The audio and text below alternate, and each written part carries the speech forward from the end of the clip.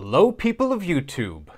Hello, Silver Stackers. Hello, Coin Roll Hunters. Welcome to my little corner of the internet. This is Michael from Penny Haven, and first off, if you haven't yet, please hit that subscribe button, then give it a like, then come back over here and hit that bell icon so you know when my new videos come out. Okay, so tonight I went to my local coin club and I made a couple straight up purchases. I won a couple things in an auction and I came away with a few American Silver Eagles. I'll show you all of that stuff in a minute. First, I'm going to show you what I got in the mail today. I got this 1919 San Francisco Buffalo Nickel. You might be thinking to yourself, uh, so what? Big deal. Well, it is kind of a big deal. Let me just show you my Buffalo Nickel book. There we go. Last page is all full. This page, it seems to only be missing one. A 1919 San Francisco. And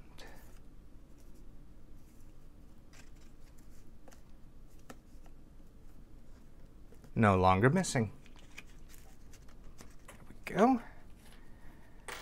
And my first page is only missing the 1918 D over 17. So you know what that means?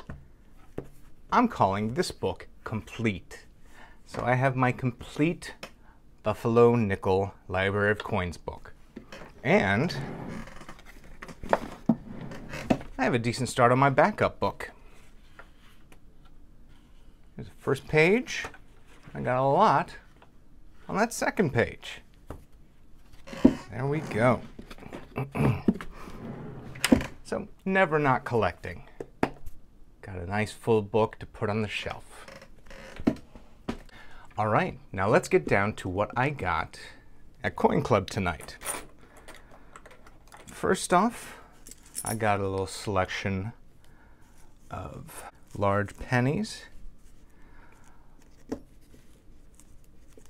I bought a couple just straight up, about these two, straight up, and then I got these uh, in the auction. I think I paid three bucks for that. It's a little high, but you know,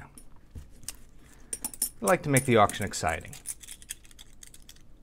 There we go. So I will check my books for these, and then I'll either put those away with some other ones, or I might put some up on eBay. And I bought a couple other things direct. Oddly enough, the guy had two 1884 half farthings. I don't actually have any half farthings, so one of these is going to go into my uh, the unofficial UK typeset I'm making, and then the other one's going to go on my eBay store. So if you're looking for an 1844 half farthing, check it out. Got this 1962 half dollar. Oddly enough, I don't have very many coins in my Franklin book, and I already have this one. So, and it's not an upgrade, but I got it for, uh, I think I got it for like eight bucks. Then I got this 1927 Standing Liberty quarter. I think I got for five bucks. So those were both reasonable. So got those. So the local coin club, we recently had our yearly coin show. And for that, I sold raffle tickets. A few of you actually bought some from me. Thank you for that. I'm sorry that none of my tickets were winners. But for selling 160 tickets, I got two American Silver Eagle Type 2. Look at that. So that's a great incentive to get out there and sell raffle tickets. And we'll be selling some more here in a few months because The annual show is generally in March, but it got moved back to September this past year. So we are going to have our regularly regularly scheduled show in March. Then we have a couple of different raffles. We have just the you know members door prize. Uh, so everybody gets a ticket for that. And then there's a 50-50.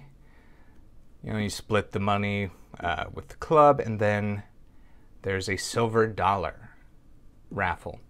So I bought 12 tickets for $10 for that raffle tonight. And I go up there. There were four winners tonight. The third ticket gets pulled, and it's one of my numbers.